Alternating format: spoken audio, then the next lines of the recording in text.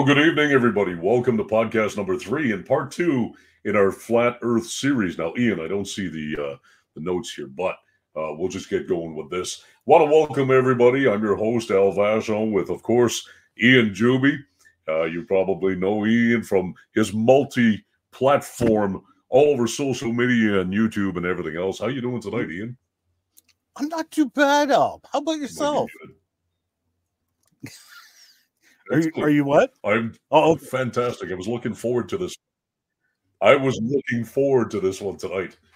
So, uh, you know, I hear that we've got over 5,000 or, or, thousands anyway of views from the last podcast. And there was a, a, some anticipation of what's coming up tonight uh, with part two of the flat earth. Is that right? Uh, yes. And uh, you're, you're starting to glitch again. So before, before we go very far, let us remember remind everybody. Let me call it up on the screen here. Uh, with if we get cut off, uh, stop screen. Where did it go? I have it here. If we get cut off, and if you can hear me, uh, you want to relog in, you want to go to rumble.com forward slash user forward slash Ian Juby forward slash live to get back onto the feed. It'll take you to the latest feed uh, live feed that's ready to go for us. So if we get cut off, you, the, there's a link on the screen. Just join us at rumble.com forward slash user forward slash Ian Juby and forward slash live. All righty. Yes. And I'm, uh, so I'm, I, uh, sorry, do you have your, your stuff up there? I have my stuff up here. So, um, go for let it. me get into it. All right. So tonight's topic is the flat earth. Uh, last week, we looked at some experiments, some observations, and uh, we had a lot of comments come in and so on and questions. And we looked at that part of it. But this week, we're going to focus on sort of the biblical aspect and what does the Bible say about a flat earth? Can we really determine um, if the earth is flat or if it's a globe just using scripture? Uh, uh we have the observations, we have the tests, we have all of that. But what does the Bible say? And that's what we're going to take a look at tonight. But before we get into it, I just want to preface this one with something. Does it really matter? You saw in the opening here, uh, one of the questions really was Does it matter if the earth is flat or if it's uh, a globe? And on the Bible side of it, as a Christian, to us, it really doesn't make a difference. Um, and the reason I say this is salvation isn't by believing whether the earth is flat or a globe. It comes from the Savior, Jesus Christ, and believing in his uh, life, death, and resurrection to forgive your sins. So, on the biblical side of it, absolutely it makes no difference. But what does the world say? What do you say? What do the scientists say? And tonight we're looking at what the Bible says. So we've got a number of scriptures, and I, I, I want to get into this just a moment here and state that, you know, there are over 200 uh, pieces of scripture in the Bible that speak about we'll say flat Earth or globe Earth.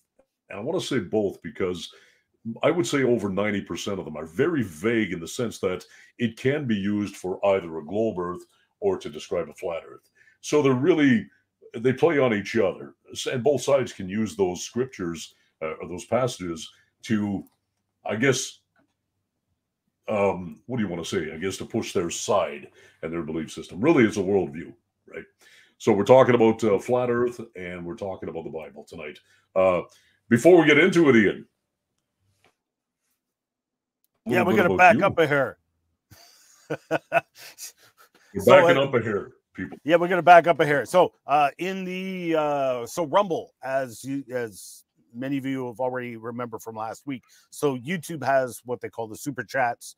Uh, Rumble has their Rumble rants, and you can uh, send a tip right now, uh, 100% is going to the creators for the rest of the year from Rumble. Um, normally, Rumble takes 20% off the off of that, and so it supports us, uh, supports the production of these podcasts, especially because.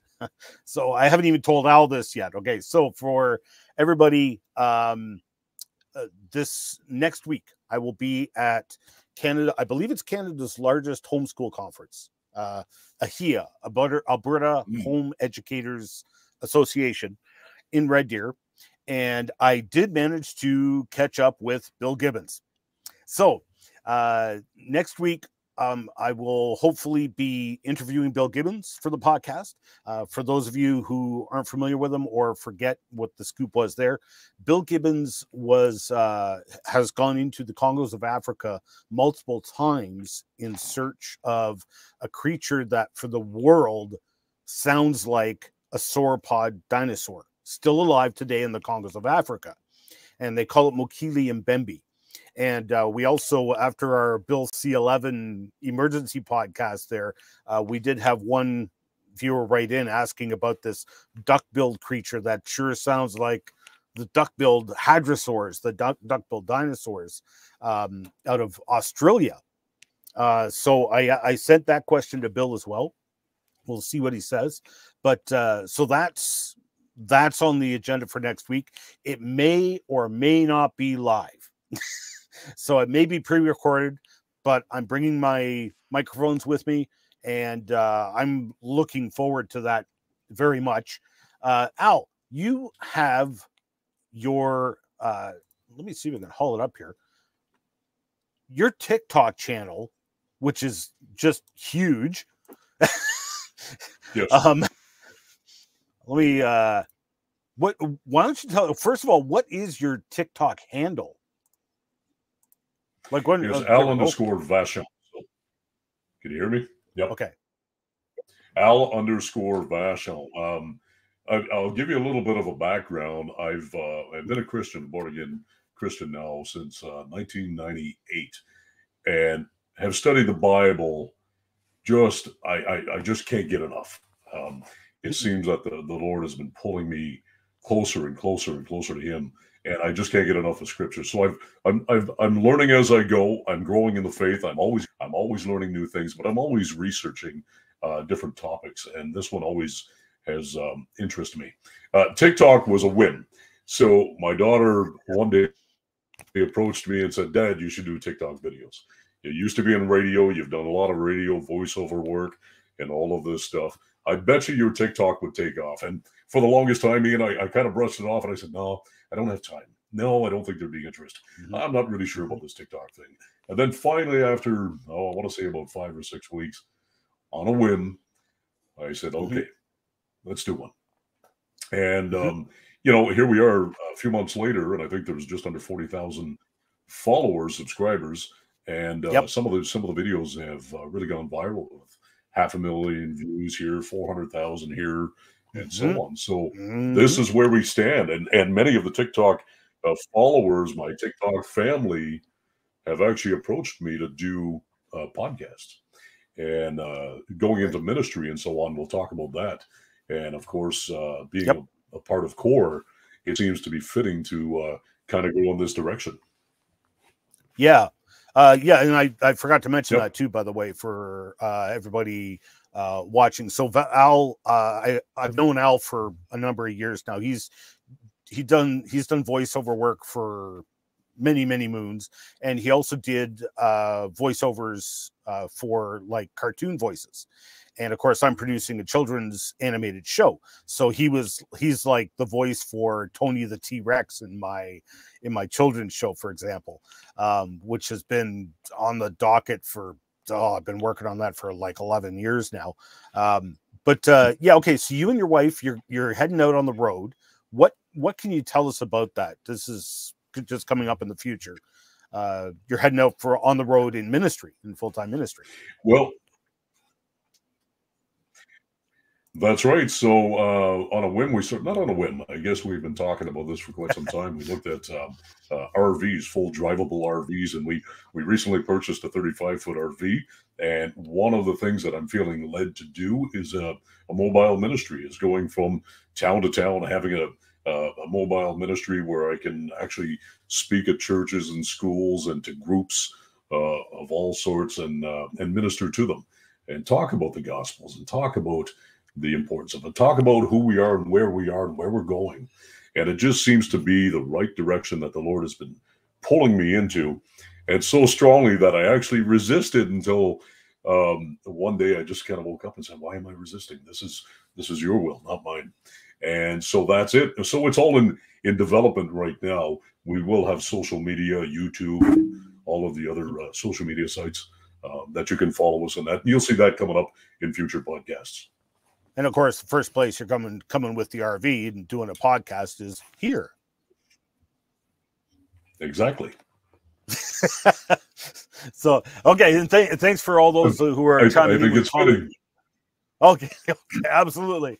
Uh, thanks for those who are coming chiming in in the contents uh, comments. By the way, um, uh, so Beans mentioned I watched a flat earther film the sun go all the way around the South Pole. I I was going to get to that, and claimed that that was proof that the Earth was flat uh, because we didn't see retrograde motion. We'll we'll discuss that later on. But thanks, Beans. I, I did also ask uh, my buddy John, who's actually been to Antarctica, and I asked if he could chime, chime in tonight. I don't know if he got my message or not.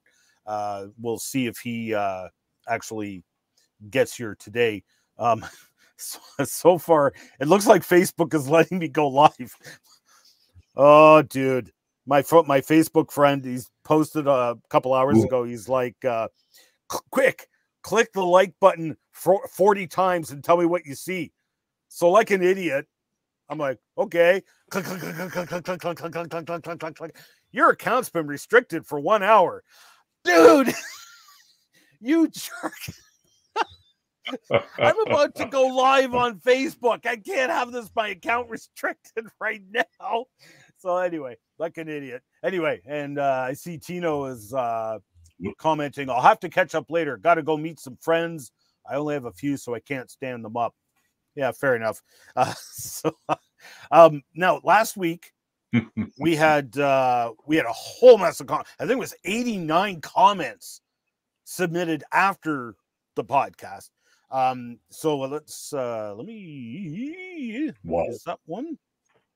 I think that's one. Which is great. It Some of this I wasn't privy to. I'm learning as we go. So that's great. Yes, yes. So this uh Ken Freak uh, posted this. The science plainly shows us that gravity would prevent a flat Earth from ever forming. Ever see a flat planet in the solar system? No. Now, this is a very significant point that he's brought up here, and we we didn't get into gravity last week. I specifically dodged the topic for the moment. uh, I, all I did was mention that I had unconventional views of gravity, but gravity is a big problem, and he's nailed. He's hit the nail on the head here. This is one of the big problems. However, another viewer wrote in. Oops, wrong button. There we go. Flat earthers don't believe the earth is an upside down mountain floating in space. Now, I, I agree with them on that. Uh, if you guys will recall, um, last year I uh, or last week I showed a, an image where it it looked it looked just like that an upside down mountain right? And it was just it was just an image. I wasn't trying to say anything by it. Um, but it was just an image i posted for the thumbnail right? And i, I agree with them on that point. Um, they believe the light is bending through a half sphere electromagnetic dome rather than the land and water bending that's very very important I'm well aware that that is what they believe, or one of the things they believe. Some. Here we're going to make the disclaimers again, okay? Because get a load of what he says next. They believe the sun, moon, and stars and wandering stars are smaller and in the firmament, that dome that we talked about last week or didn't talk about last week. You misrepresented what they believe to make it easy to pick apart because a ball Earth is obviously fake. We don't live on a giant ball, water ball in a vacuum shooting at 2 million mile an hour. All right. So, th- first of all, thanks for the comment, Deer Park 777. Um, obviously, I have to disagree on a lot of points here, but um, these these were the guys uh, that were disagreeing with the other flat earthers last week. Now, I don't think it was him, but there was another flat earther that basically said when I when I uh, retorted when they complained about the image, which actually, you know what? Give me one second. I will call up that image. There it is right there. So that everybody can see. Uh. It was a hot topic. It was. It was. And I hope everyone will be patient with me here. We're using StreamYard this week because uh, last week OBS Studio was giving me all kinds of hard, hard times and we had echoes and stuff. So, so this was the image that I was using as the thumbnail.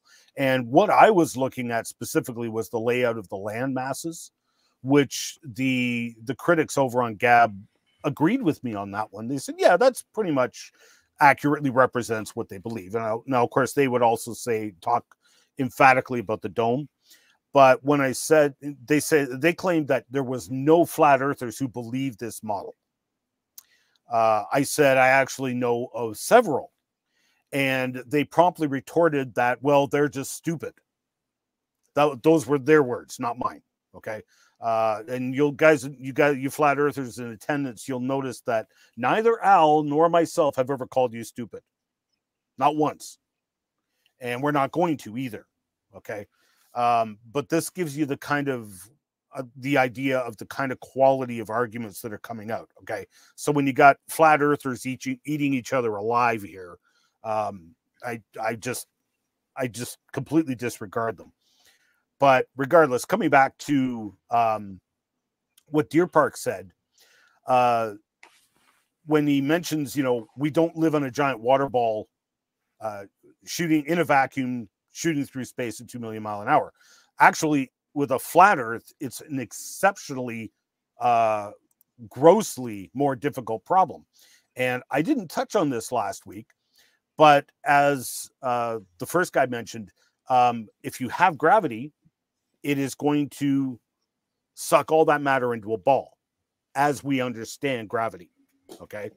Uh, for example, we can look around uh, in the uh, in our own solar system. Uh, let me make this bigger. We can look around in our own solar system and see round planets, globe planets, and even globe moons. This is Jupiter. And to give you an idea, again, last week we emphasized over and over again this is stuff you can do at home. This is research you can do at home.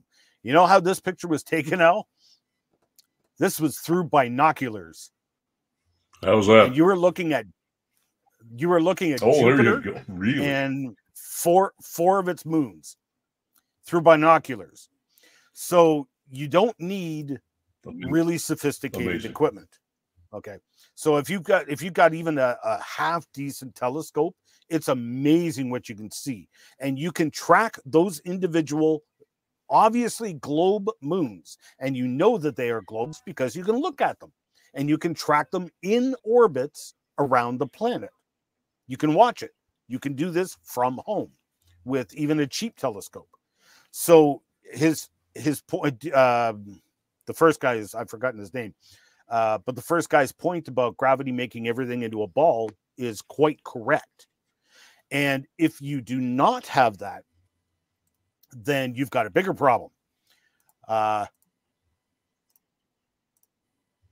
because gravity, what at least the flat earthers that I've debated with, what they claim is that it is an acceleration.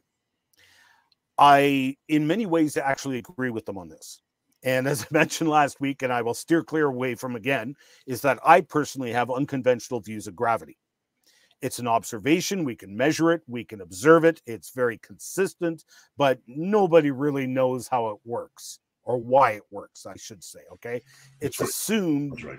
that matter just has a gravitational field. So you get more matter, it's a stronger gravitational field. That's that's the current thinking. Is it right? I don't know. Uh, personally, I believe I have generated a gravitational field in the lab using electricity. Uh, I won't go into that. But uh, let's say, let's take their hypothesis and run with it. Let's say the Earth is flat and it's accelerating. Forget the reasons why, forget everything. Okay. It's accelerating at 9.8 meters per second squared. Have you ever gone skydiving or bungee jumping? No, no. What it's it's okay. on my to do list, but no, I haven't. Excellent, excellent. Okay, when do you do? Gravity takes over real fast. that 9.8 yes, meters per second squared, it's pretty serious, dude. I, I mean, uh, like, wow. Um, even just falling off a ladder, it's like, wow, that was fast. so, so bear in mind this is per second squared. So for so per second per second. Okay. So if we have a 6,000 year old Earth, I won't get into the math of it's billions of years old. Okay. We'll steer clear of that one because the numbers will be too big for the screen. A 6,000 year old Earth would be 189, that's trillion, right? 100 or billion, 189 billion, 216 million seconds. So you take that number, multiply by 9.8 meters per second, would mean that the current velocity of a 6,000 year old flat Earth would be, well, what is that, trillion? 100,000 million billion trillion, 1.8 trillion meters per second. Okay. And climbing at 9.8 meters per second squared. So, by comparison, the speed of light is a mere 299 million meters per second. So, we would literally be well in excess of the speed of light. Not only that, you have our entire solar system, which we can observe from our backyard, which also must be accelerating in the same direction in unison with us. So it isn't just Earth, because Jupiter, like I showed you, all its moons, Saturn, its moons, which you can see from your backyard, all the other planets, the sun, all of them have to go in unison. Now, are they in the the dome firmament? That's another argument, uh, which I won't get into uh, yet. Um, but this is this is a major major problem for the flat Earth uh, is gravity. Uh, in regards to that, we've got one more comment I wanted to touch on.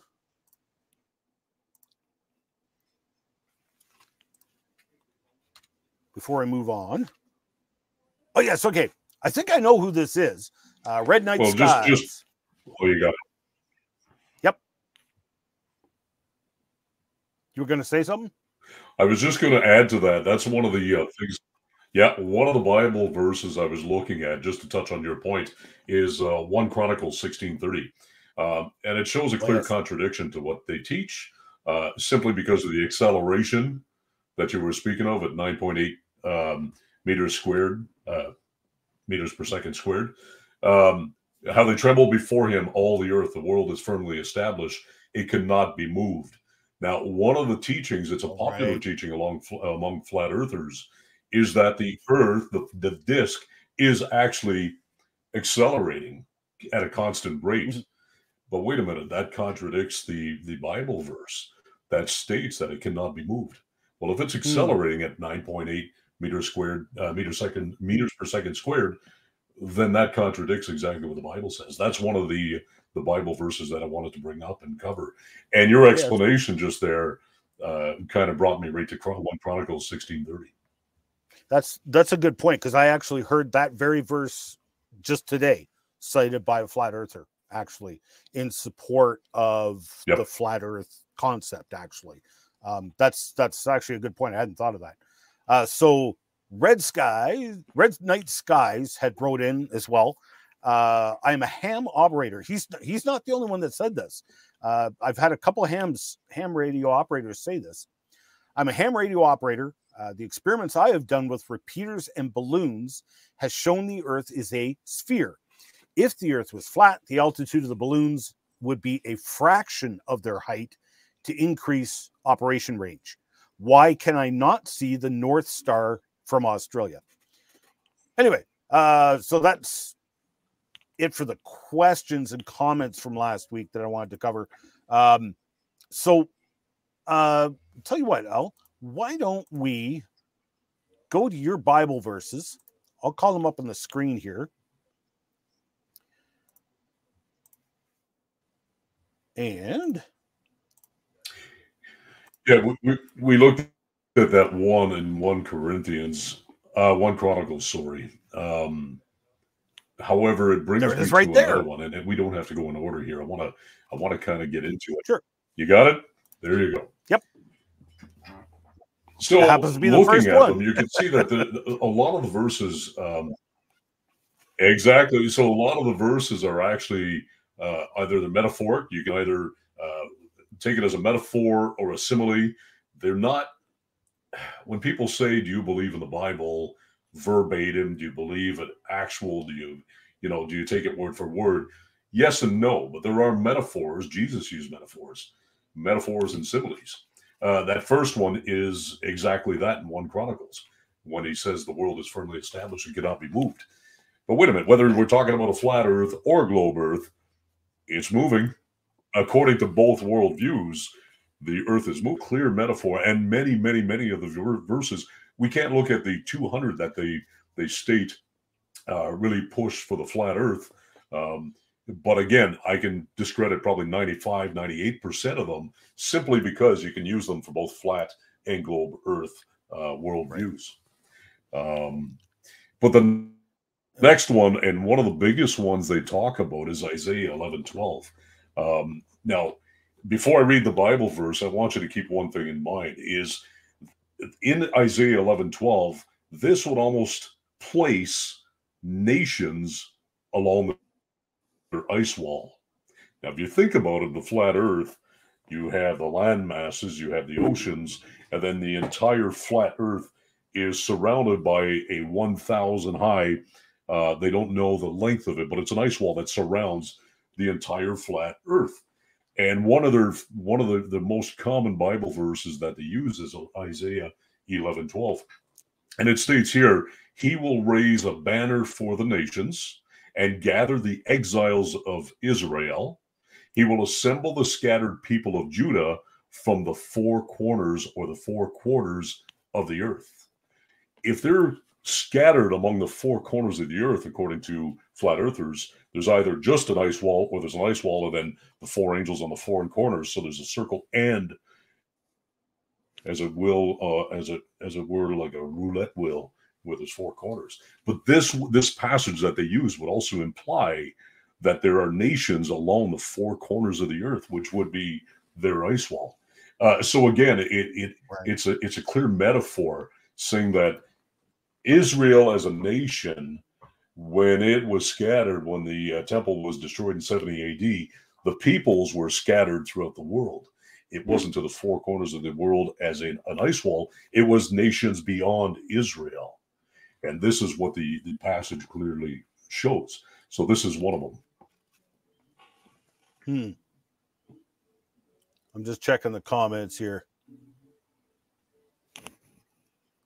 And also on that note, um, one second here. I'm multitasking, or as Vance Nelson tells me, unitasking. Um, uh, there, there was the Jubster. my uh my one Facebook friend uh this past week sent me a list and I I asked her about this because the moment she mentioned this, I'm like, I pre- I'm pretty sure I know exactly what um exactly what list she's referring to, and it was a list, alleged an alleged list of over 200 flat Earth Bible verses, and uh, I had actually gotten this list given to me several years right. ago and um, I, I only mentioned it because uh, as I went through this list, first of all, uh, my understanding now, I have not been able to verify this, but I also haven't been able to refute it. Uh, when I was first given this several years ago, I was told this was actually compiled by atheists and that they were, they compiled this list in order to uh, make it appear as though the Bible taught a flat earth. Um, like there's many many verses here like like uh sun stops moving like in joshua or isaiah and and habakkuk. And not habakkuk as i always used to say. It's uh habakkuk. Um that that could uh, it's a miracle.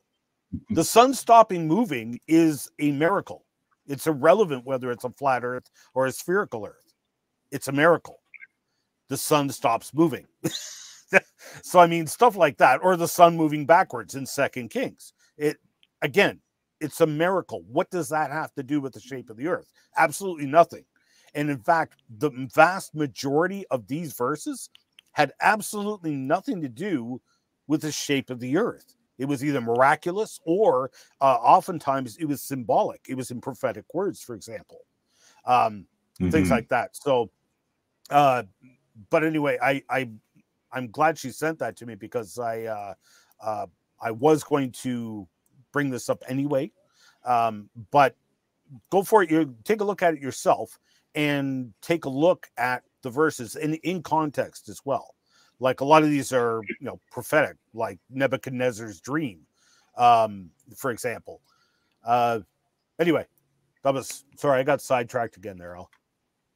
No, that's fine. And you know, this is what I find: the more research I do on flat Earth and their belief system or their the worldview, the more I find that the passages that they use to support their hypothesis are passages that are picked and chosen. They're selected specifically just that section to fit that worldview. But if you read, if you take it really into context and you read the entire chapter, uh, you'll see that it doesn't actually support the flat Earth whatsoever. Right, and also, um, oh, Sorry. Ah, there we go. Okay, you're back. You totally froze. Go on. I froze. Say everything after. Yeah. Blah, so blah, blah. I was just. I, i'm not sure what you heard, but basically, uh, all the research that I've done uh, with flat earthers, they pick and choose just bits and pieces of Bible verses. And if you read it in context and you read the entire chapter, uh, I don't think in, in my research that any of it supports a flat earth. Uh, I've got a lot of examples here we can go through. Um, more specifically, it's it's to pick at the ice wall, and this is one that that haunts me in a sense because this is the one that I see zero uh, ammunition, as it were, for to support a flat Earth, and I, I can get into it.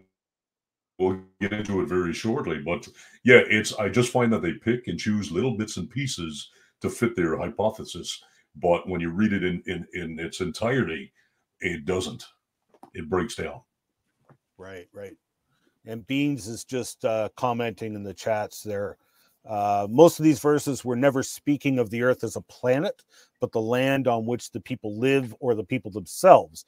Uh, for mm-hmm. instance, when it says the earth shakes or the earth is immovable, it's talking about earthquakes and the fact that the land doesn't fall out uh, from beneath our feet, which uh, I, I agree. That's a good point. Um, Absolutely. Also, it's actually, a, mm-hmm. it's a great point. I was going to say that if you, the word earth in the Bible, um, it actually refers to the actual um, land mass and not the actual planet as a whole. Over 90% of the time, it's referring to the actual land and not the planet, whether it's globe right. or flat. So, right, right. Yeah, and and my friend also sent me uh, a, a, video, which I did send you. Did uh, Dr. Heiser? Um, yes. May he rest yes. in peace. Mm-hmm. Um, man, a lot of these guys have. It saddens me. A lot of these guys are dead now. Uh, Dr. Heiser was one, and uh, uh, Rob Skiba. That was another video I had sent to me showing the the the uh, mirage effect of seeing Chicago across Lake Michigan, for example. Right. Um, you know, I I have my disagreements with Rob, but uh, yeah, it's still it was it still broke my heart. I mean, when he passed, right? Uh, him and uh, Dr. Heiser and whatnot. But um, there were several things that Heiser mentioned in that video, which I had not seen before. Um, for example, he talked about uh, very specifically how only it was only 500 even 500 years ago they were still arguing whether you could sail off the edge of the earth or not mm-hmm. um, that mm-hmm. that is actually patently false so i was really surprised to hear him say that because ironically because I, I actually dealt with that in one of the reasons we wound up here is because i had all these people asking if i had had any videos on the flat earth which I did not. The only one I had was uh, CrEvo Rant, I think it was 107. And um, because I was out at Fogo Island in Newfoundland, and that was claimed by the Flat Earth Society to be one of the four corners of the flat Earth. And so they've got monuments out there on the island and mm-hmm. beautiful walking trail. So it's actually really, really well done. And if you're ever out there, get a chance, uh, do go. Um, so I went to while I was on Fogo Island, I filmed a CrEvo rant on that. Uh, it was actually an atheist of all people, Jeffrey Burton Russell, who pointed out that this was fiction. It was complete falsehoods. And that this whole concept of right. like Columbus, for example, uh, uh, everyone telling him he's going to sail off the edge of the earth and you can't actually get to the the new land um, because the earth isn't a sphere it's a it's a you know flat plate. Um, that whole story is fiction. As we discussed last week 300 bc they had already measured the diameter of the earth the mm-hmm. circumference. Mm-hmm. they had not only assumed it was a globe quite accurate measured it. Mm-hmm surprising accuracy. so, I mean, this so this whole concept. I mean, Jeffrey Burton Russell is no friend of Christians nor creationists, and he was the one that pointed this out. And it's in the British Historical Society's uh, number one spot for uh, historical myths. Uh, and in and when they use that term myth, they're talking about falsehood. Right. It's just patently false. It's not true. Um, so anyway, I was mm-hmm. surprised by that. He he also said a lot of things right. in that video, which I I actually really liked. It was really thought provoking. Um, you know, uh, but anyway, I, so why don't I let you take off uh, with what you were doing here because I got all your slides up here, and we can go with that. Otherwise, I'll ramble on. I want you to ramble on. Sure, and I, I'm, I know you have the I know you have the passages, but I'm going to be jumping around a little bit, Ian. Um, I, I want to get into certain, di- certain, things and different things. I've, I've got and arrow keys. The whole point I want to make is excellent. So we're going to go down to Revelation 28, uh, verse 8. Um, and what I what I really want to get at here is um, one thing I do find that flat earthers tend to do is they pick and choose what they take literally and what they use as a metaphor when they talk about their corners of the earth and the pillars and all this stuff, speak as though it's literal. But if you read again the Bible in its context, it can't be taken literal. It is a clear metaphor or simile. And one of them to hmm. start it off is Revelation chapter 20, uh, verse 8. And he uh, and will go out to deceive the nations in the four corners of the earth. This is a big one with with flat earthers. Four corners uh, they say it's the you know we look at it at, uh, biblically, and the four corners refer to uh, you know north, south, east, west. Uh, there are no corners, uh, even on a flat Earth. Uh, to be frank, whether you're talking about flat or a globe, there are no corners. It's a clear metaphor. Um, right. So it would also apply imply that there, according to their interpretation, populated. And we don't see nations. We don't see uh, millions or hundreds of thousands or even pockets of 10,000 here of people. So what, Can you, uh, what God is clearly speaking you, of is nations. Yep. You, uh, you dropped out. So just because I think that's an important point, but you dropped out just as you were making it. So with the four nations, with, with nations of the four corners, what does that imply? So again, it, it, I think it's it's very clear that the, the Lord is talking about uh, the four corners of the earth or the north, south. It's the directions for north, south, east, west. It has nothing right. to do with an actual ice wall. It would imply that the ice wall is inhabited by many nations and many people, but it doesn't say that. Um, that would have to be again inferred or uh, implied. Um, so that's an interpretation on Bible passage. Now, there's many to follow, and you can go uh, Job, Psalm, uh, Isaiah, and we'll look at a few of them. So, some of them that support it. Can you hear me okay? Yep. Great. So, we're going to go to Job 28 first. Yeah, Job 28, uh, verse 24. For he views the ends of the earth and sees everything under the heavens.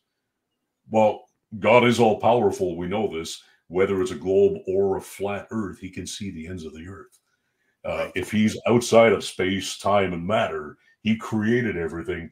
He certainly has the ability and the power to do so. Mm-hmm. Uh, but then we'll look at the next one, which is Psalm 67 7. My God, bless us still, so that all the ends of the earth will fear him. Again, when they use these verses, the implication is that the ends of the earth, which they uh, their definition of the ends of the earth is that ice wall, that would mean again that it's uh, very much populated, when in fact it actually refers to nations and people outside of Israel. Um, and then we can continue. I mean, the, the, the passages are numerous.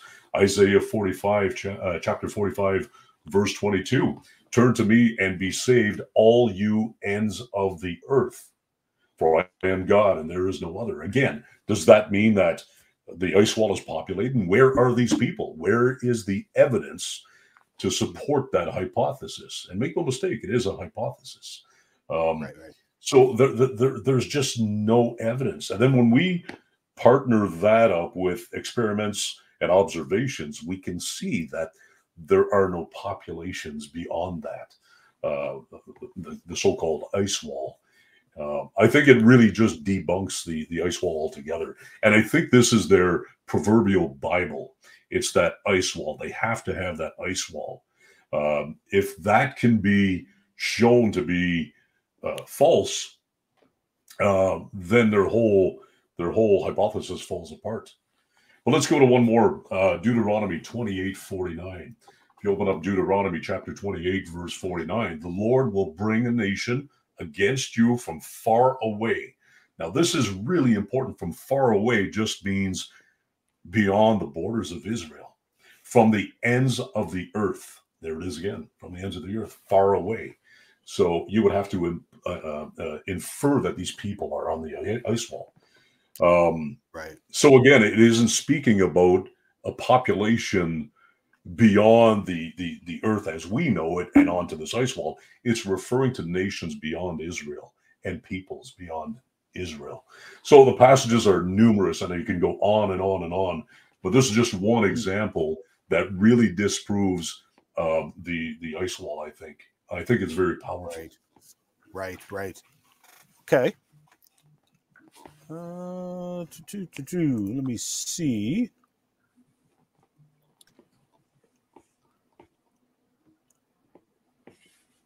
Oh yes. So we uh I wanted to take I wanted to touch on this. This was uh there's another biblical principle here which um when we can this this is this this will sound kind of uh, strange, but indirectly through the Bible, through the scriptures, we can uh, verify the shape of the earth. How? Well, in the mouths of two or three witnesses, let every word be established. And uh, we have, uh, mm. for example, uh, multiple eyewitnesses who have been to space, who claim they've been to space. They all agree with each other. Now, you want to imply that NASA's paid them off or whatever, fine, uh, but you're ignoring the biblical principle here. And you are mm-hmm. flat out accusing them of lying, of bearing false witness. And many of these guys are Christians. Uh, Charlie Duke, for example. Um, one second. I believe I even have a quote from him. Where did I put that? Boy, that that brings up something while you're looking for it. Um, yep. If you can go back and play, I should have had this one ready. If you can go back and play, if you recall, William Shatner, the Canadian actor, went up into Jeff Bezos' ship, yep. I believe, yep. and did his little voyage and stuff. And he came back and he was just amazed, and the Earth is incredible, and blah blah blah. And there's a clear border between, you know, a 50 mile um, sheet, as he called it, a very thin sheet where the blue planet is below and the black skies, and it's this and that. But he actually used the word globe. Right. I don't know yep. if you remember that. I should have brought that one up. I should have queued that one. But yep. um, it is on YouTube. you can check it out. That's true. Yeah, because he yeah he was really impacted by that by that flight.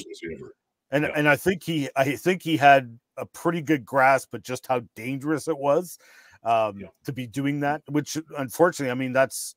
Uh, it, uh, did you did you follow that with uh, Mad Mike, the the flat Earth guy who was building his own rocket in his backyard?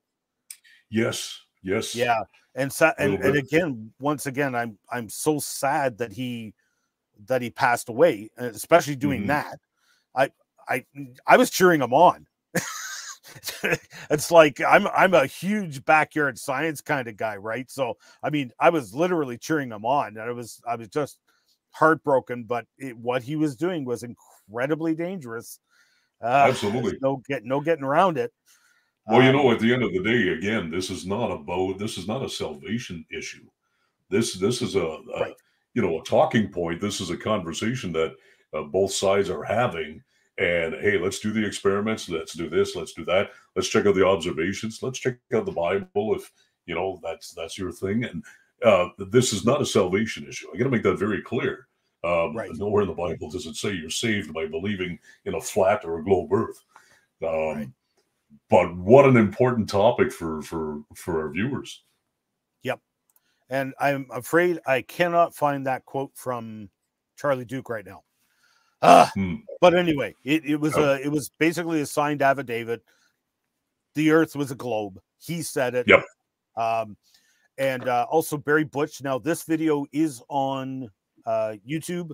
It is available, um, and uh, the link for it is in the references, uh, the Mhm. random references in the description of the video. Uh, so it will be there. Barry Butch Wilmore. Uh, so in April 2019 at uh, Answers Genesis uh, at the Creation Museum there, uh, he was Mm, there and Ken Ken Ham pinned him down. He's like, okay, okay. In fact, this is a, you know what? One second. I'll put it on the screen because we could do that. We have the technology and stuff. Well, you have the technology. Yeah. Okay. Well. Don't don't put this in my hands.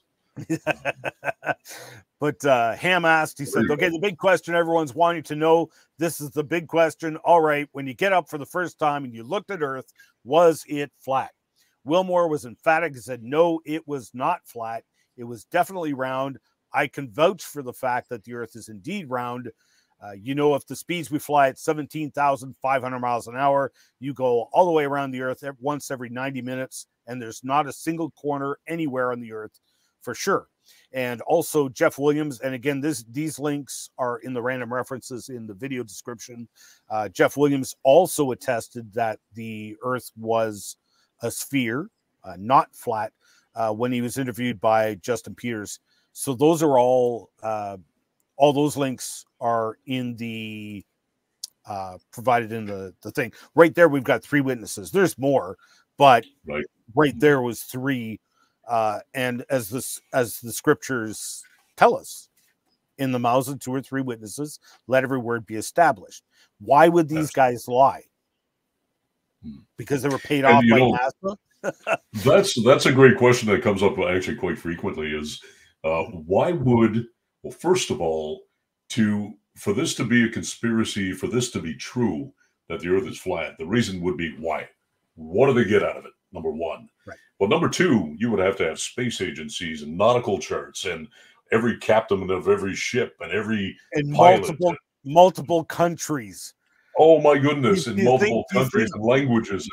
Yes. that would all have to conspire together to uh, to hide the fact that it's actually flat. Yes, China China would just love to embarrass NASA. Uh, North Korea would love to embarrass NASA. Uh, all would. those guys, you know, if they had the opportunity, they would. Um, That's right.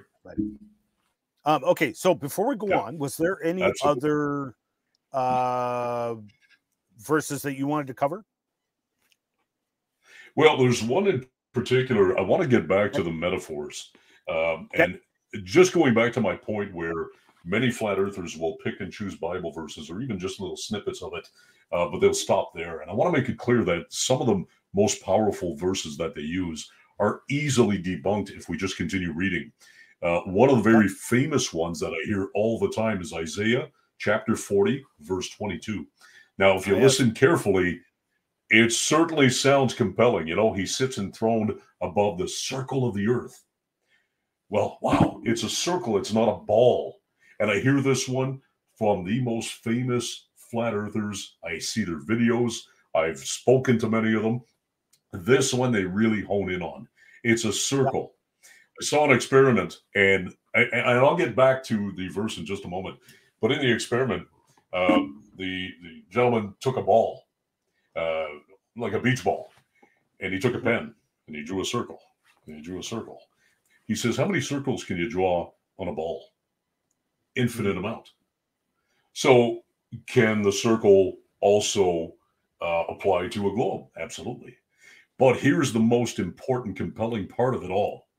Let's continue reading. So, Isaiah 40, verse 22, he sits enthroned above the circle of the earth.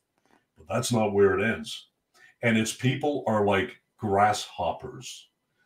So, wait a minute. Are we to take the circle of the earth literally as a circle? But we're not to take the grasshoppers literally?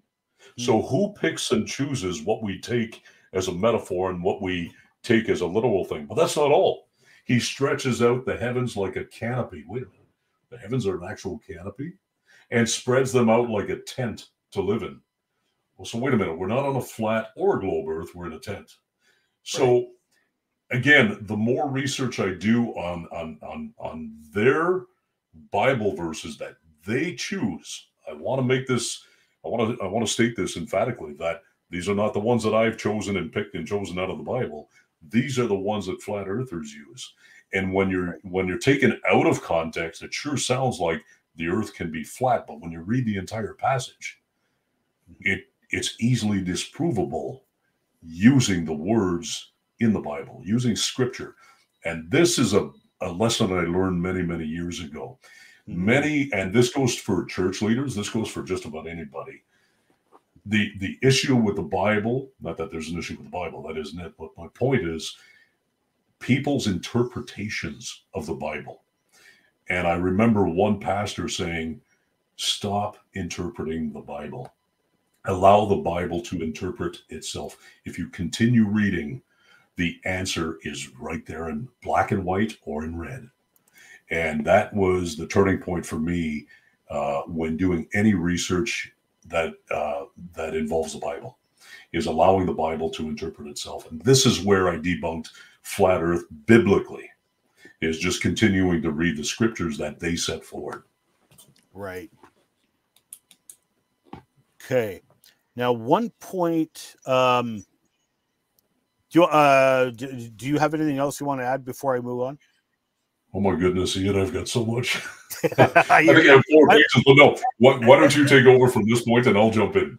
Okay, okay. And I apologize. I couldn't find that Isaiah verse. I thought I had that oh. in the slide that I couldn't find it anywhere. Oh, I may have added to it and uh, didn't inform you. Well, I mean, I no, I, I had it in there. I mean, that's the that is the most common verse. Clearly, I should have included it, and I would have included it. So I just obviously dropped the ball there. So, but anyway, you you gave the reference. So, um, yep. so uh, another video that was given to me this past week by uh, uh, one of my friend friends who is a a flat earther uh, sent me uh, Rob Skiba's video of Chicago over the horizon on Lake Michigan. And so you can right. see it from like 40 some miles away. Uh, this is actually now I, I steered clear this last week because it, it takes some time to deal with it. Um, because uh, even before we started last week. Just show us mm-hmm. the curve. Just show us the curve and we'll be done. The problem is, once you do show them the curve, they will reject it. Or if the curve is not visible, they will embrace it. And this is exactly what Rob did. Now, don't get me wrong. I, I like Rob, and I especially appreciated that he went out there and he got a boat and he documented it all. Um, kudos to him. More power to him. Um, but this is this lensing effect, atmospheric lensing effect, is mm-hmm. uh, is pretty important. And the first place I actually ever encountered this, uh, where did my slides go? Nope, that's not it. Have you ever been to or heard of the Mystery Lights of Marfa, Texas? Yes. Yes. Oh, you have. Have you have you ever seen them any uh, documentary? I've never seen them. No. Okay. So, uh, uh, with regards to like um, uh, cryptozoology. So my good buddy Herb Stein, he's big into cryptozoology. He's a huge cryptozoologist.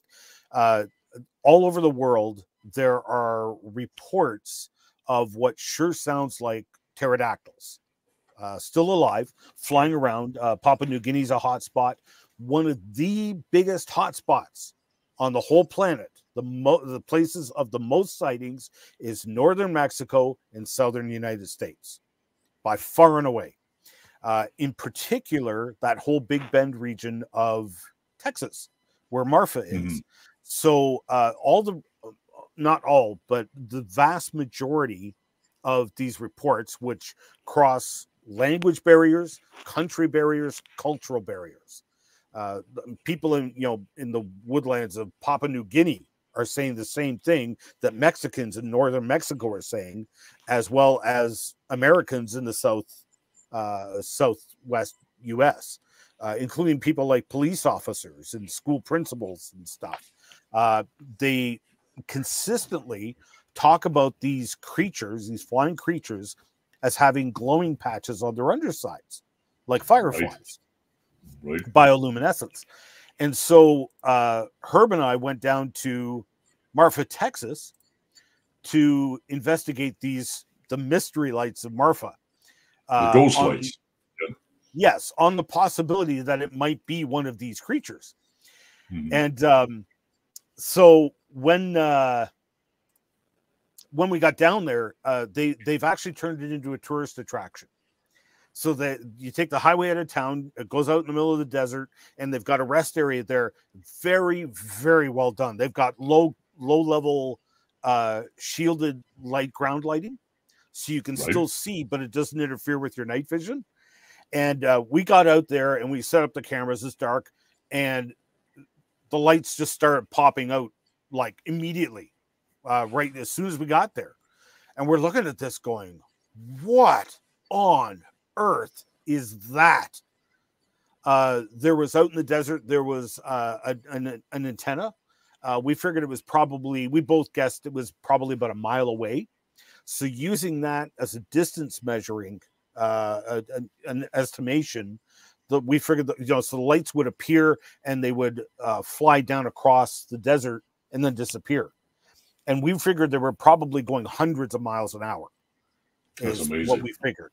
Uh, there were bright white lights, and it, we were just like, "What is this?" And I, I'm videotaping it with my night vision camera. Right? It was, it was, it was cool. We had a lot of fun. We, we, uh, um, had a lot of fun investigating that.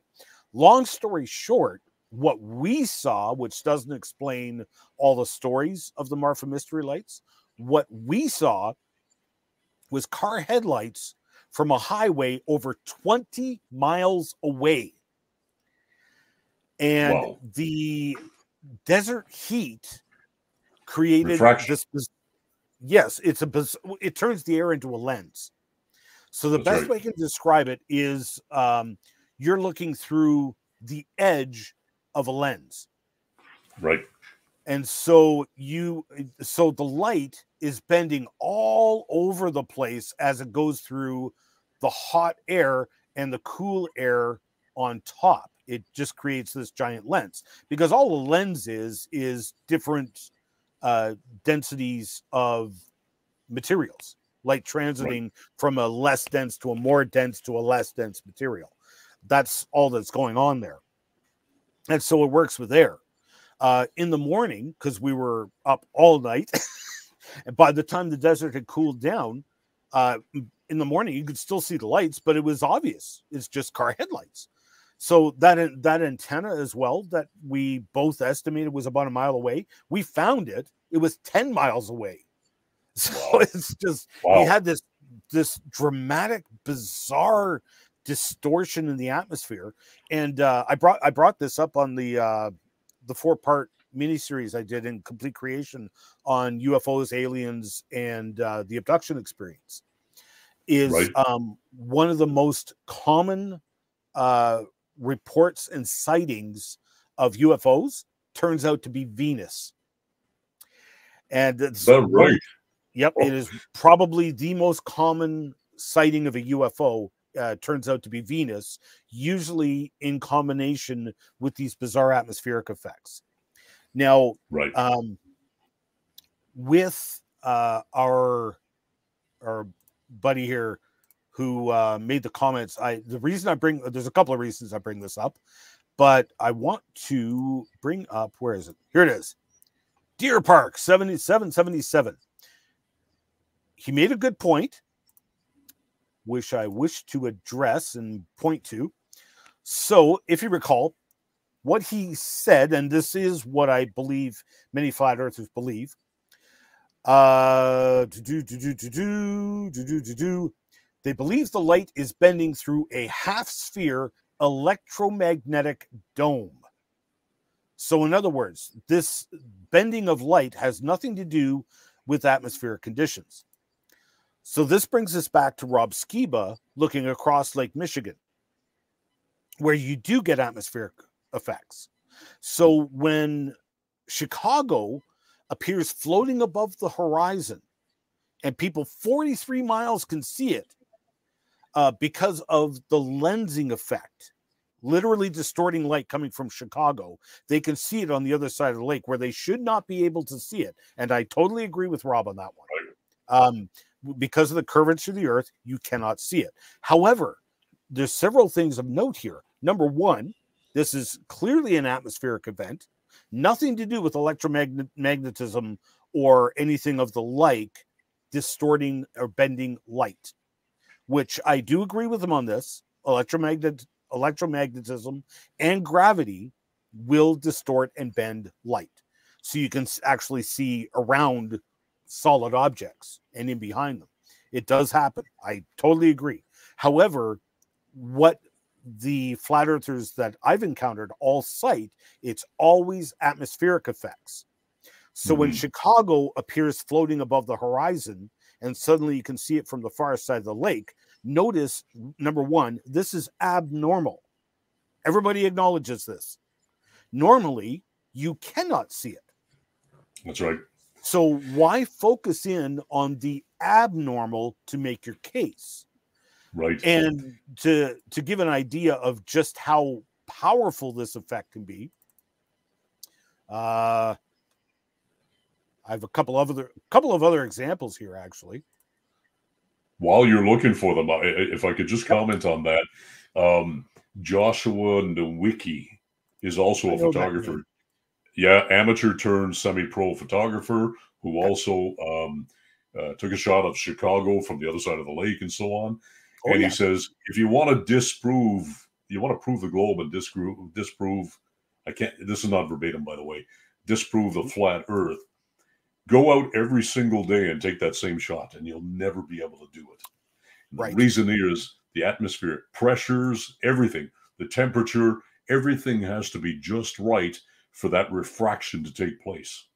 Right. If it was a flat Earth on a clear day, regardless of the weather and this and that, you should be able to see the skyline. But you absolutely, not. absolutely, and you don't because, and this is why again, um, a number of uh, there was a, a, debate, and I can't remember who it was, but uh, one of the uh, proponents of the globe Earth was saying, okay, so any clear day, we're going to check the, the weather patterns and so on.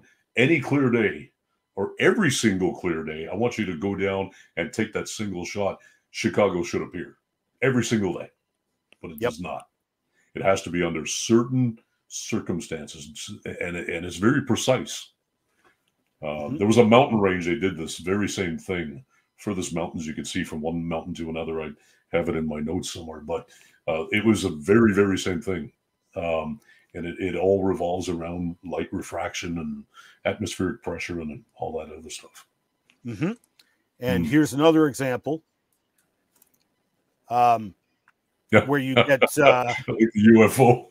yeah. yeah. So it's it's the the effect can be quite profound. I mean, look at that. Uh, so I mean, yeah, somebody threw the UFO in. Uh, but uh, I, let me give me one second here. I think because I have that original picture. Oh, maybe this is it. Yeah. So you have a series of them here just to give you an idea of, uh, you know, how profound the effect can be at times. Mm-hmm.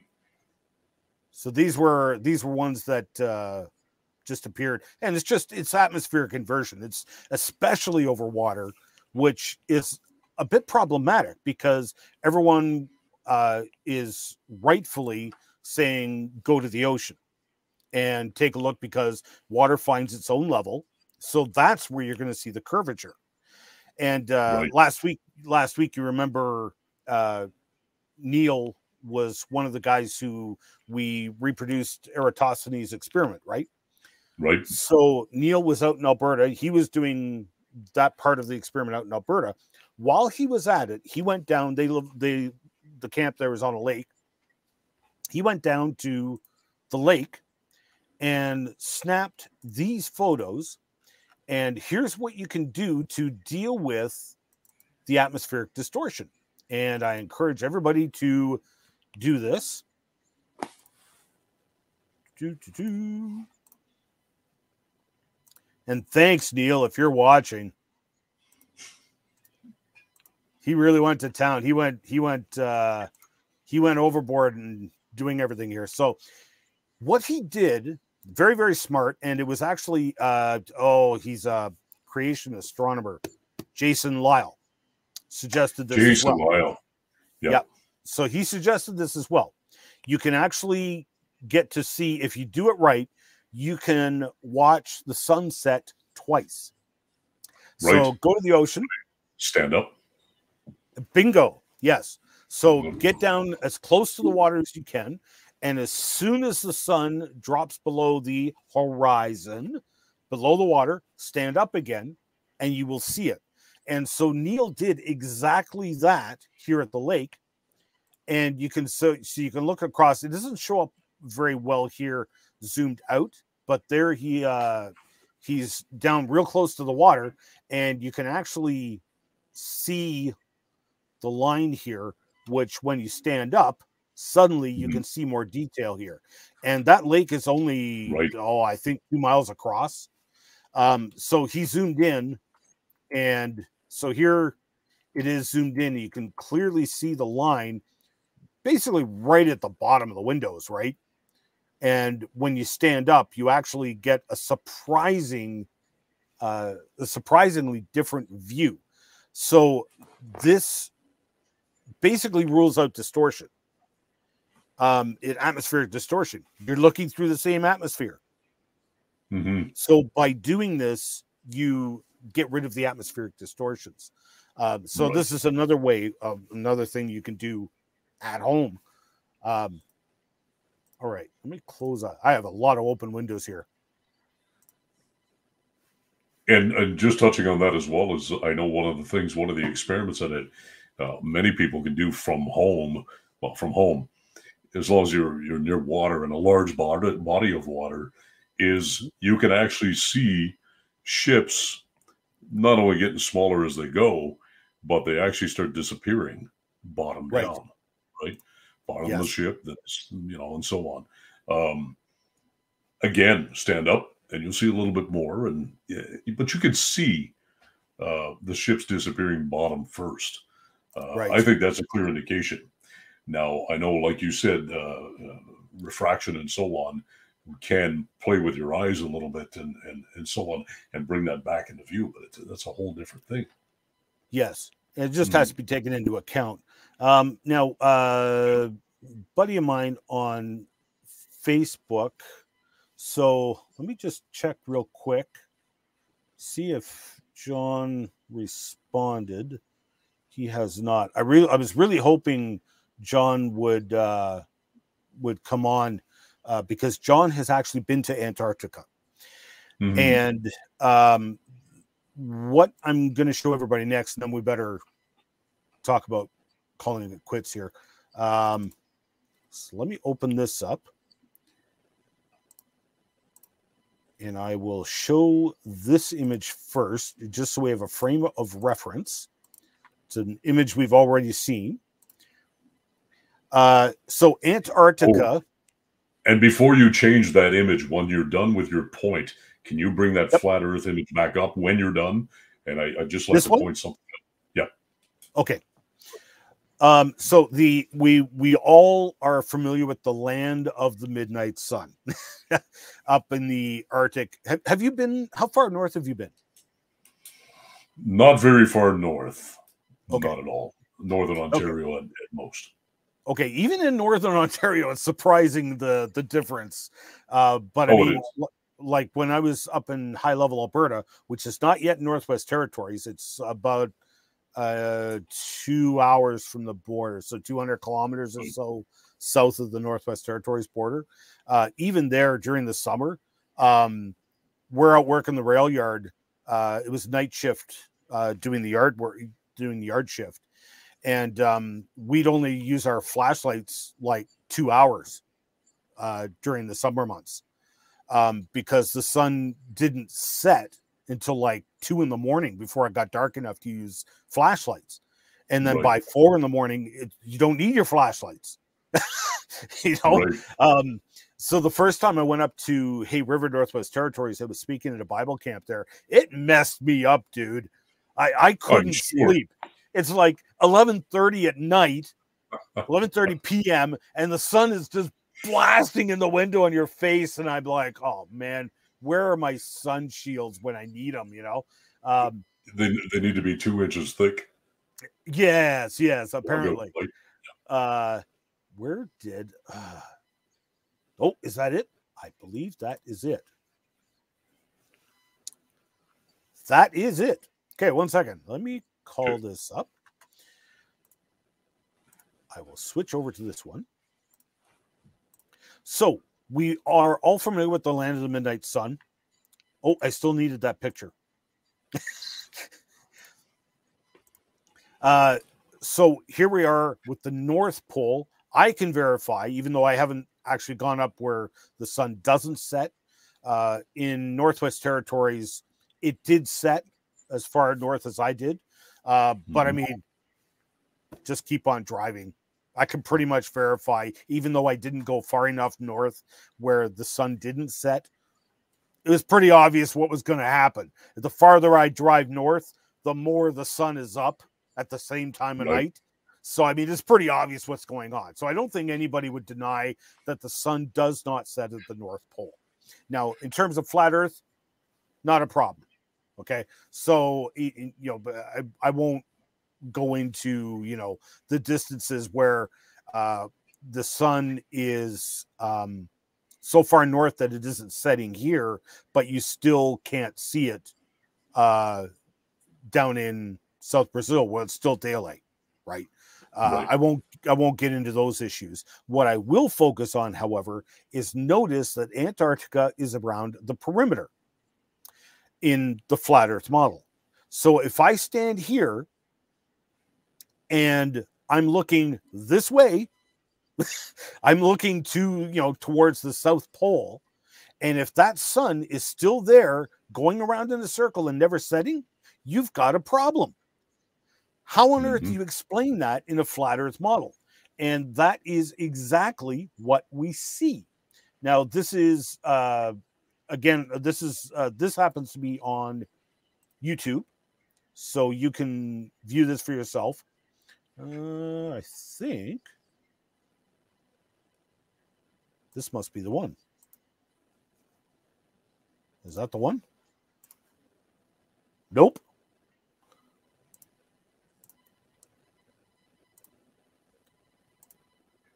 Uh,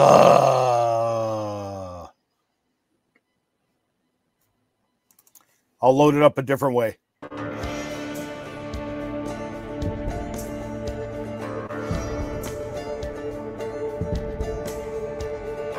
What the guy did here, he'll show you at the end. Pretty slick trick. He's just got a camera on a tripod, robotic tripod, and he's just got it tracking the sun. And he stuck a stopwatch in there so he had an idea what time it was.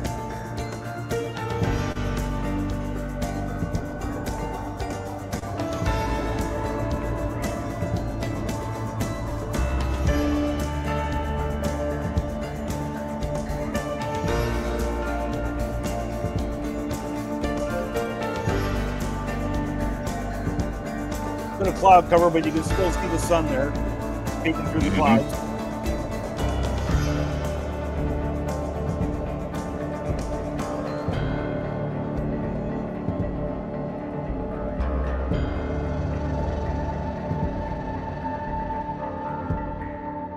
So there's his rig, just to show you exactly how he did it.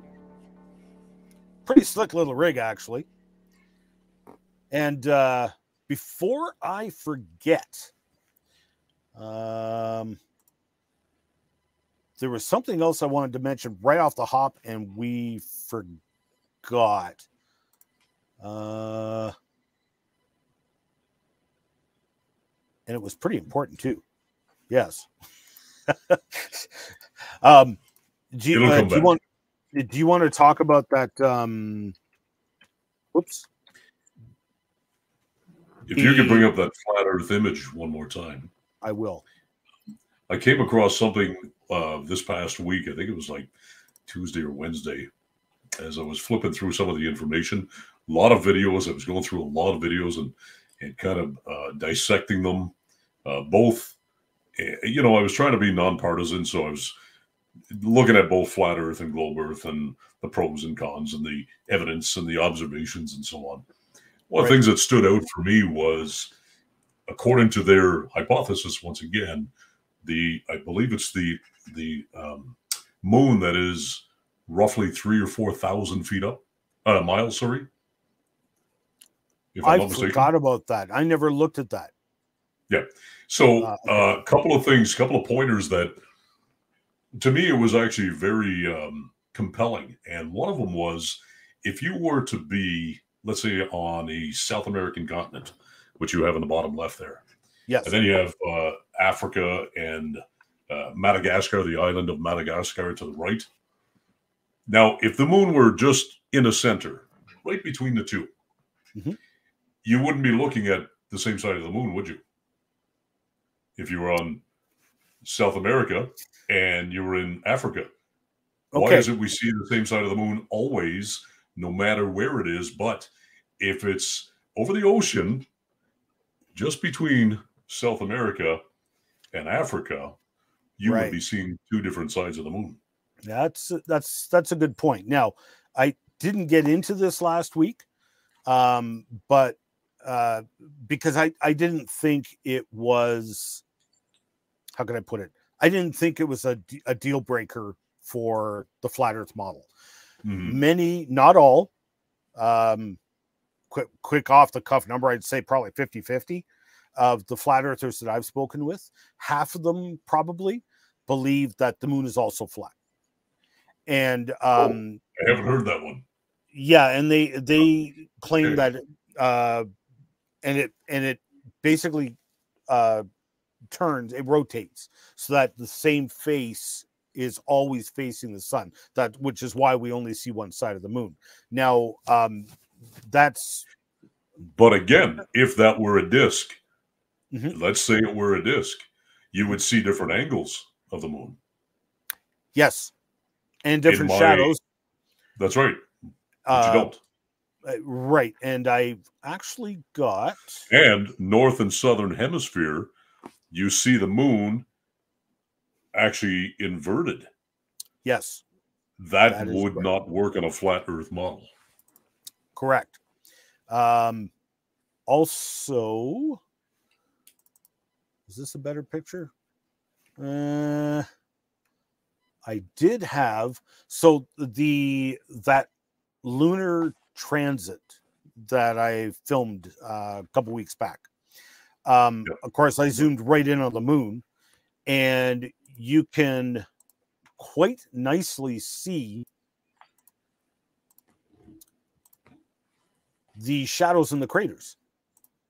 hmm And so when you uh, take a look here, you can see the shadows, which presumably the light's coming from the sun. Some would claim that the moon is actually giving off its own light. You're starting to stretch credibility, to say the least, when you start pulling this stuff off. Uh, but in fairness, I'm just saying, you know, some would claim that the moon gives off its own light. You've still got problems there because the sha- the shadows are very clear Uh, mm. You know, as you're going on this side, you start to even see the shadow on a spherical moon. So I steered away from this whole argument last week because, it, as far as I was concerned, whether the moon was flat or a, or a dome didn't or a globe didn't it wasn't fatal to the flat earth argument mm-hmm. Is, is, the way i looked at it maybe i'm wrong about that one could argue again as the as a our first commenter uh, that i quoted um, saying about how gravity will turn everything into a into a globe it just will and i agree with him on that one um, so i guess you could argue in that regard um, what was the other one? Oh, yes, yes.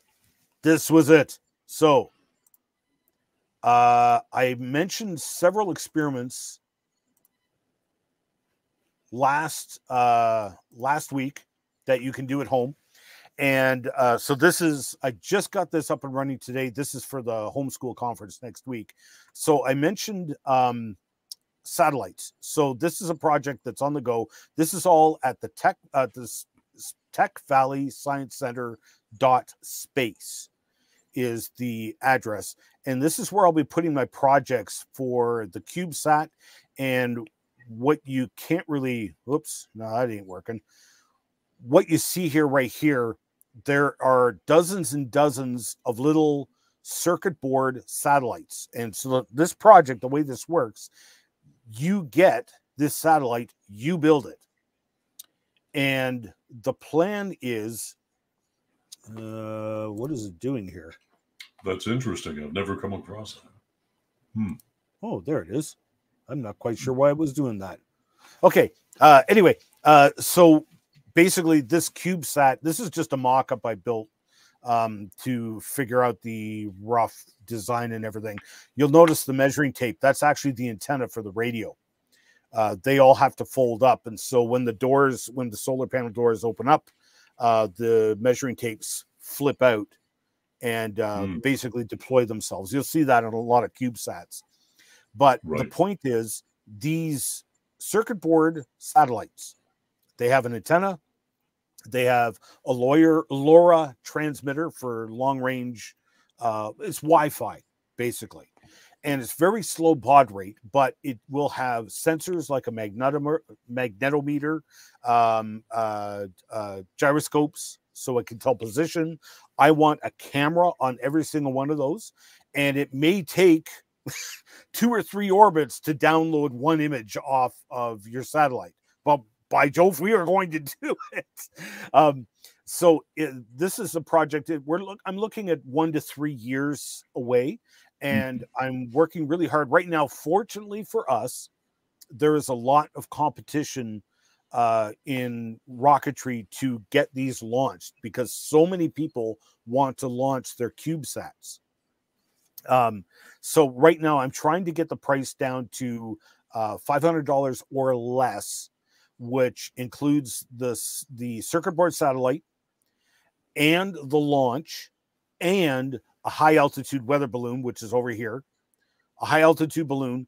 And basically, so from home, you build the satellite, the circuit board satellite, you send it up on a high altitude helium balloon, and those things can get up to like 100,000 feet.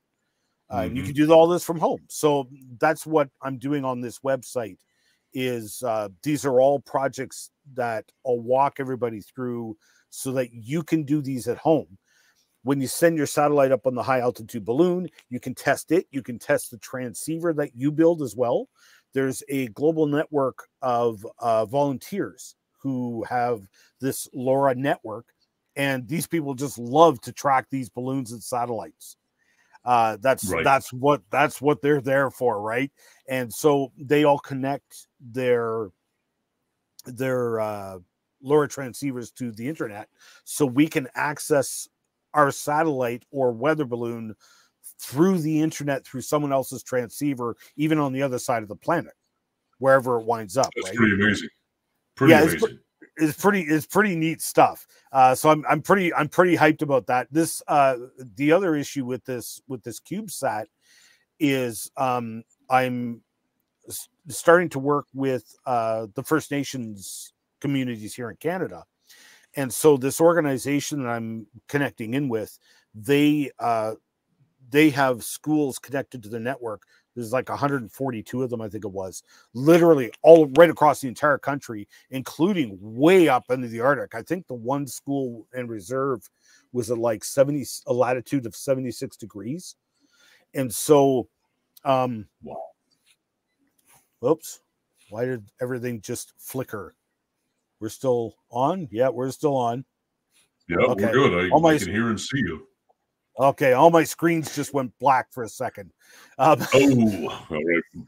You know, so anyway, the second point I wanted to make had something to do with weather balloons, and um, so I'm gonna keep, get to keep the weather second. balloon. Say again. I'm gonna go to there next. Okay. So, Cool. so with these the First Nations kids up at the schools in the high Arctic, so we need to get this CubeSat into a polar orbiting, uh, or into a polar orbit, because otherwise, Right. this this kids up in the high Arctic won't be able to receive it if it's on if it's not on a really steep, like between eighty and maybe hundred degrees, of uh, on the on the poles, right? And also the plan is to uh, hopefully also get each of them to launch a high altitude balloon to test their satellite test their transceiver because especially up in these high arctic places internet internet access is scarce uh, Right. the Right. the video system that the the organization uses for teaching which is mostly what i'll be using um, lord willing uh, it, we actually have to book the the time with the Nunavut government because the bandwidth is so high and the bandwidth usage usage is so high and this, the bandwidth availability is so low we actually have to book the time with the Nunavut government just to be able to use the teaching system. And so I'll be Right. teaching all this from home right? But of course shipping all the stuff up to them. And then the the third thing which I mentioned last week is this is an actual uh, image from a polar orbiting weather satellite, one of the NOAA web uh, satellites. And you can track these. You can capture that image just like that using uh, equipment that costs 50 bucks or less. Uh, you can buy it off Amazon, Prime delivery. You can get it overnight. Uh, so it's software defined radio, and you can literally build your own antenna. So I'll be explaining on the website as well with uh, video tutorials and everything, walkthroughs how you can do all this uh, from home. Uh, once again, you can because these are polar orbiting satellites. They're in Right. orbit and they're in low Earth orbit, just like our CubeSat will be. And um, we may or may not be allowed to deploy the Pico satellites out of the CubeSat. I'm, that's part of the the research I'm still looking into. Um, it's in a decay, what they call a decaying low Earth orbit. Basically, it Right. decays to the point where it burns up and re-enters. Right. Uh, they don't want space junk up there, especially because that I'm aiming for 300 kilometers, which is only 100 kilometers lower than the International Space Station. So these circuit boards would be deadly in space. So they need to decay and fall out of orbit, right? Um, so the way I've designed this is so that the cameras will be on the edge of the circuit boards so that you can access pictures. So here's your opportunity. If all goes according to plan, you can buy one of these Pico satellites. You can build it yourself. You can stick a little Lego man in front of your uh, camera or whatever, so you know that's your camera, your satellite, whatever you whatever you want to do. What's that? I'm putting core on mine. Okay. you can do whatever you want. You can take a picture, tell it to take a picture, and it will transmit the picture to you. So you can see for yourself whether the globe is whether the earth is a globe or not. Uh, same with the high altitude balloons. You can send up cameras with them. Um, and of course, you can uh, down you can capture these images as the satellite goes across the sky because it scans. It does it one scan line at a time, right?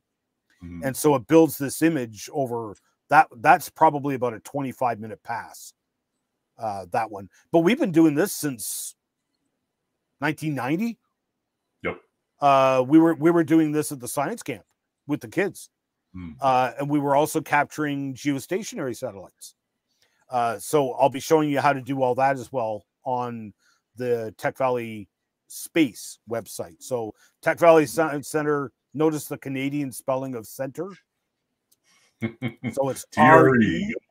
So Tech Valley Science Center, all one word, dot space will take you here and all these projects. So anyway, okay, you wanted to talk about weather balloons or high altitude balloons? Yeah, so uh, high altitude balloons. Here was the second point in the one video that I watched, and it again very compelling to me. It just stood out like a sore thumb, and a great way for flat earthers to prove that the Earth is flat. So, can you go back to your map for just a moment? Map, which one? The flat Earth map. Sorry. Oh yes. Okay. One yeah. second. And the point the gentleman made in the video, and again, it seems like the simplest way to prove your theory or your hypothesis. Um, to me, anyway, and I, I couldn't question it. I, I, looking through the lens of a flat earther, I would have to say, my goodness, why didn't I think of this? Right. Um, so we don't have a map up, but uh, or at least there I don't see it. But here we go. Here we go. Here we go. So Chile. If you look at the southernmost part of Chile, almost touching Antarctica, right? Yes. Isla, Isla. I flunked, I flunked geography, by the way, just so you know. Okay, so did I. Um, twice. No, just once. but the southernmost part of Chile. So yep. here was this gentleman's point. He says it's funny how flat earthers use weather balloons uh, in their their model to show that there are no satellites uh, floating around space. They're just weather balloons. Great. Let's use that as a foundation. It's amazing, though, that all of the imagery that comes from these weather balloons, if you look at the weather balloon as it's spinning around the Earth, the entire um, uh, space surrounding the weather balloon is uniform. It isn't like, oh, here's the ice wall on one side at 150 kilometers, and then on the other side, as it's spinning, you know, here's another part of the Earth that's 600,000 kilometers away, whatever the case may be. It's all uniform as a weather balloon spins. Now, if you want to disprove a globe Earth, go to the southernmost part of Chile and launch a weather balloon. That's a very good point. A high altitude weather balloon. Why anybody not? going to anybody going to Chile recently? you know, so just go to southern Chile, which people have access to. All right, you know the Antarctic Treaty. We're not allowed to go uh, governments are conspiring. First of all, that ring is astronomical in size. I don't know how any government can monitor that entire thing, even through satellites. But let's give it to them. Antarctic Treaty is true. We can't go to the Antarctic. Fair enough. We can go to Chile, the southernmost part of Chile, as a matter of fact. Let's go there with a number of high altitude weather balloons uh, and high definition cameras. Let's see the flat Earth. Let's see that ice wall. Let's see, you know, um, if you want to disprove a globe, I think that would be very a very compelling way to do that. Mm-hmm. Um, I don't know, food for thought. But when I came across that in the video, I went, you know, I never thought of this, and maybe flat earthers have never thought of this. I don't know. I hadn't thought uh, of it. When you, yeah, but when you go up in when you go up in a, a, an airplane or a weather balloon with a camera, anything like that, and that that plane is turning around or the weather balloon is spinning the mm-hmm. the the expanse of the planet that you see is completely uniform all the way around all the time and any part of the earth globe or flat if it was a flat earth it would not be right right as long as long as you're getting closer to the edge to that that ice wall southern mm-hmm. Chile and so on, even maybe South Africa, uh, South Africa, Madagascar, uh, Australia, southern Australia, you would see that the as you go higher up in altitude, that the it, the expanse wouldn't be uniform all the way around. Right. No, that's that's a good point. So, yeah. So just, well, something I wanted to throw out. There's nothing biblical about that, okay. as we were trying to cover, but compelling nonetheless. Yes. All right. Well, you know what?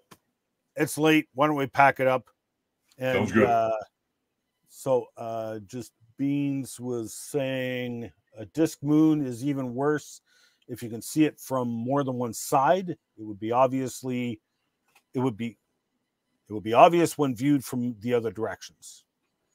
Hmm. Thanks for thanks for writing in, dudes, and thanks everybody for. uh So uh sorry, Waska, I didn't see your comment about Zoom closer, so I don't know what you're talking about.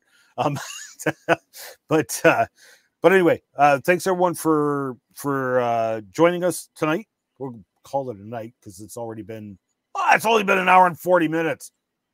Uh, we, And we started hour.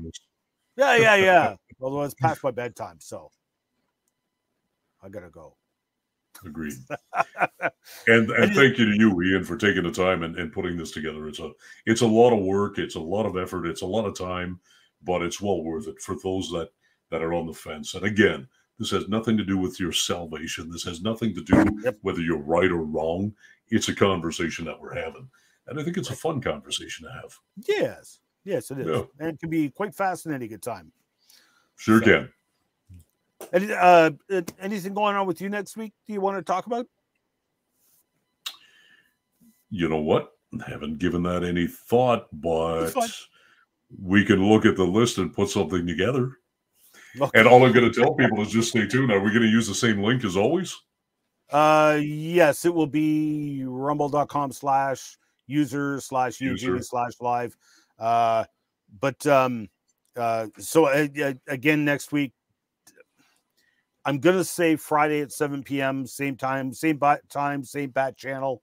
Uh, Yep. if I can get uh live with Bill Gibbons. Um, it Good. it may be pre-recorded, um, and I'll just upload it or do whatever. Um, but I'll aim for next Friday because we still haven't even hammered down yet what day we would do the interview. And apparently, he's got a cast of a footprint from Mokele-mbembe that he Oh, wouldn't that he yeah i haven't seen this. I just got told this a while, a while ago so i want to see that. So i'm going to ask him to bring that so he can show it so.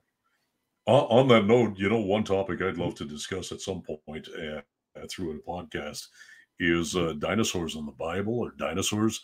Are they still alive, such as Mokele-mbembe?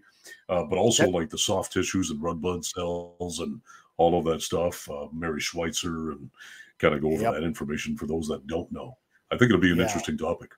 I, I i agree and the dinosaur and human footprints that's a common one that i get all the time and uh, it frustrates me because every second week i get another creationist who's never been to the Paluxy and has never looked at the evidence, uh, spouting off their opinions about how they're all fake and they're not they're not human footprints and they Hmm. obviously don't have the foggiest clue what they're talking about.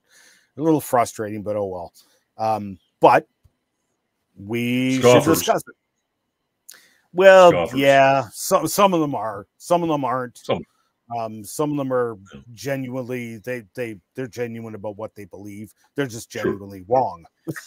so, but anyway, we yes, I agree. I agree. So those are good points. Okay, well, I guess thanks for everyone for joining us and uh stay tuned next week. Hopefully we'll have Bill Gibbons on. And oh, I did talk to Alan Montgomery as well. So I warned I gave him the heads Great. up, warned him we're going to talk about uh global warming. Um chemtrails came up again yesterday. Oh, I love it. Yep. You know, hey, can I make a suggestion? Maybe we can put down below under our names. Uh, if anybody wants an update, first of all, you can go to the link, the Rumble link. But also, if you want to check it out on uh, on on TikTok, I do a whole bunch of videos, not just on on globe and flat Earth, but go to Al underscore Vachon and V A C H O N, and I will do um, pre videos, I guess, to let you know what topics are coming up, when you could view them, and what the link is. So I'll be sure to update that weekly for for viewers as well. Al underscore on Good plan. Good plan. And I'll add that to the random references in the description as well. and maybe your link as well. That'd be great. All right. Okay. Excellent. All right. God bless go. everyone.